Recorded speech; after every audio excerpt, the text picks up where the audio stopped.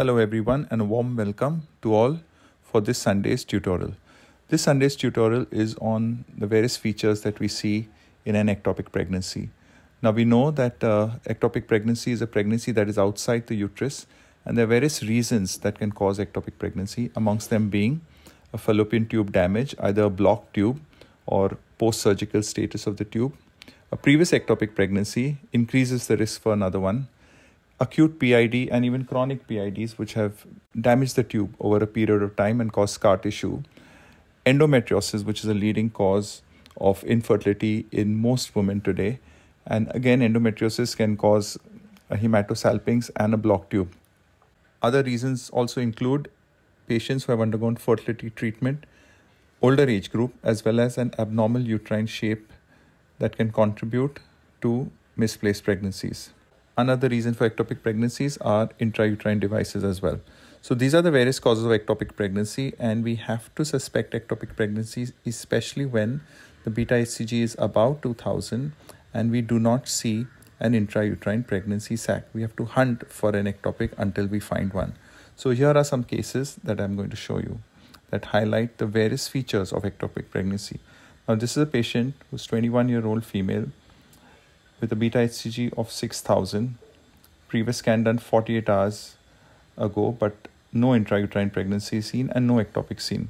As we scan, we can scan the area near the left ovary and we see a very clear gestation sac lying adjacent to the left ovary.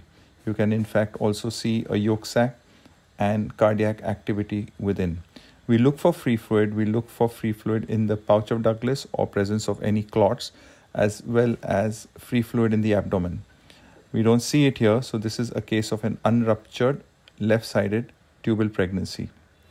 Now, here's another case.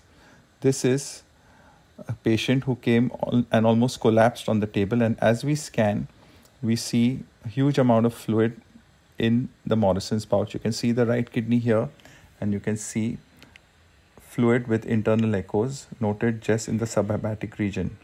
As we move the probe down, you can very clearly see again a right-sided ectopic pregnancy lying to the right of the patient's uterus. This is a ruptured right-sided ectopic pregnancy with hemoperitoneum. Now here is our third case. Now this patient had a beta HCG of 21,000 and no ectopic was found on a scan done a week ago. The patient came back after a week and uh, as we can see here very clearly seen ectopic pregnancy seen to the left of the ovary. Ovary has a corpus luteal as well. So this again was a case of an unruptured left-sided ectopic pregnancy. Another case here a little tricky one because this patient had come with a hemorrhagic cyst in the left ovary. And as we scan this patient we can see the cyst here in the left ovary.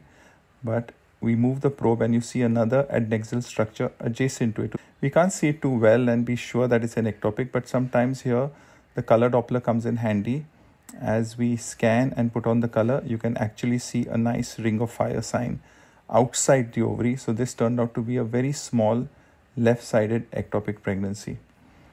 This patient had to be operated as she soon developed blood clots in the POD on a subsequent scan done an hour later. Our last case, and this one is an important type of ectopic pregnancy, especially in patients with previous cesarean sections. And you can see an empty uterus, but a pregnancy sac seen in the cesarean scar.